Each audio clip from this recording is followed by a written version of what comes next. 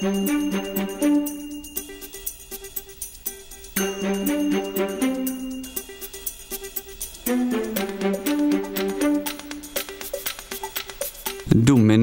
är ett trådlöst lyssningssystem för människor med nedsatt hörsel. När vi började designarbetet hade vi möjlighet att jobba med vårt eh, egenutvecklade strategiverktyg som heter Q och det möjliggör faktiskt att vi kan prata nyttor och försäljningsargument redan innan vi drar de första strecken. Hur designar man bra ljud? Hur eh, skapar vi tillgänglighet? Även hur kan vi skapa en produkt som gör att slutanvändaren kan känna sig stolt att bära den?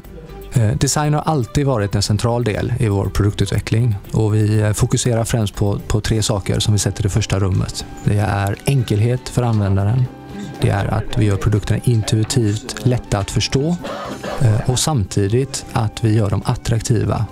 Eftersom vi utvecklas hela tiden är det viktigt för oss att bjuda med Shift in i företaget så att de följer med vår utveckling och förstår vår hjärta och själ. Det är väldigt roligt med Bellman och Symfon. De har gjort en väldigt lång designresa. De kom till oss 1989 med en produkt eh, som eh, ja, vi lite skojsamt kallar för den ryska radion. Då var de längst ner på designtrappan och idag 20 år senare så jobbar de designstrategiskt högst upp. Det är fantastiskt.